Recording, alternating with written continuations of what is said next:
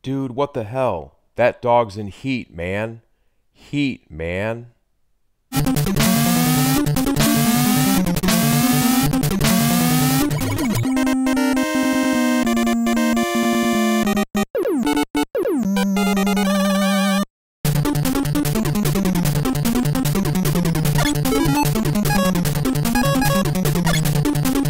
Alright, welcome back. Now it's time for some Heat Man action. In my opinion, this level in Mega Man 2 is the most difficult overall. Uh, it's because of those cylinder things, they just come after you, um, and they're relentless, they don't stop. Um, I thought the Leaf Shield would work that would work well here, but it didn't really. You'll see me try to use it pretty soon, but these cylinder things are annoying, but also this level has the famous reappearing and disappearing blocks which you'll see in a minute.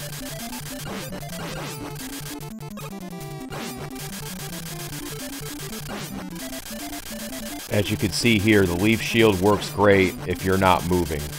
Later on, there will be moving platforms and stuff where this thing is absolutely precious to use, but here, because I have to jump, and as soon as you move, it basically flies off of you, so it's really not that effective.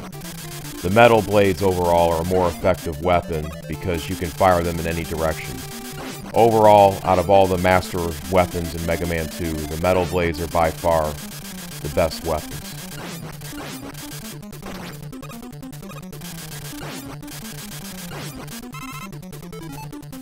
Yeah, enough of that crap. Let's just go back to the metal blades.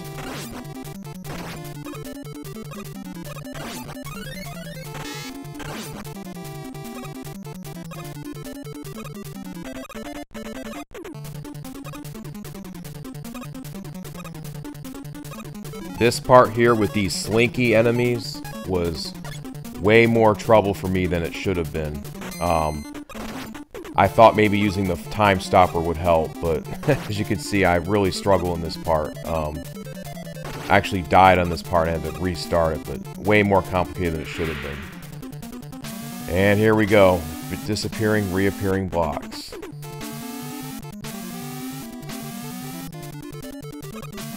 And of course, we fall down the ladder because we only have so many seconds in our life if the atheists are correct. And I like to save all the seconds. Yeah.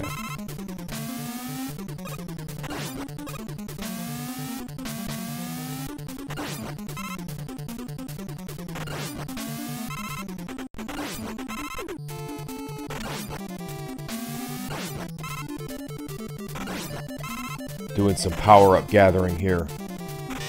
Might as well take advantage of their unrelenting and regenerating nature to stock up on all life. Because the, these things just don't stop. They just keep coming. No matter how many you kill, there's another one to take its place.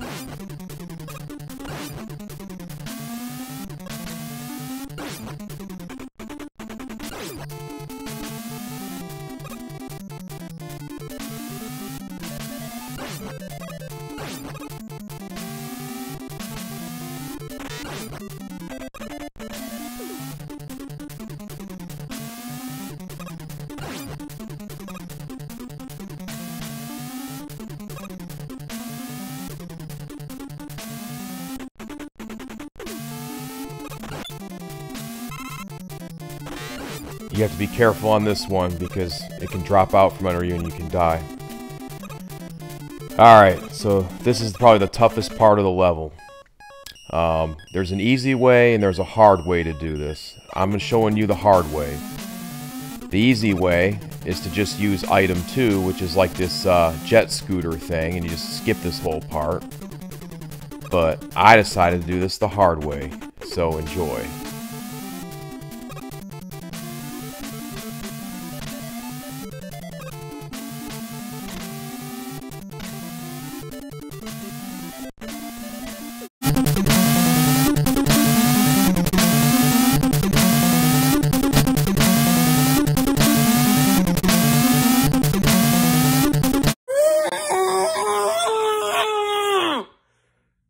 Just use item 2, damn it.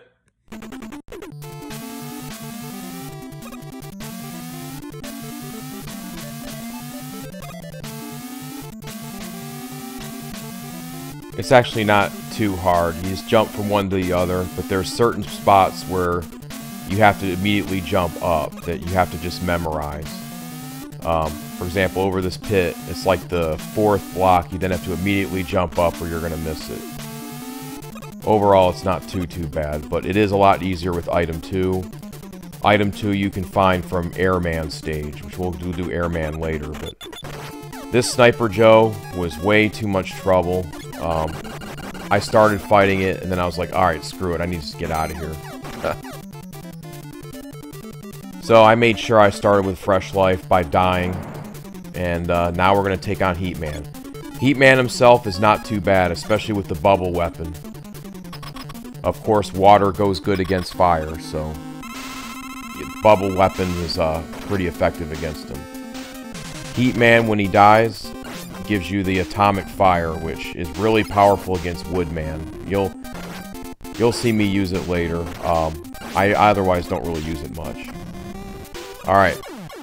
Till next time, remember Max Stone 999. I think four nines, yeah. For maximum entertainment, yeah.